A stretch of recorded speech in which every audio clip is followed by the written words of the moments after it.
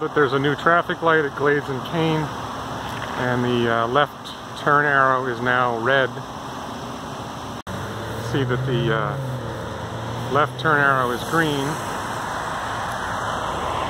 and when the light changes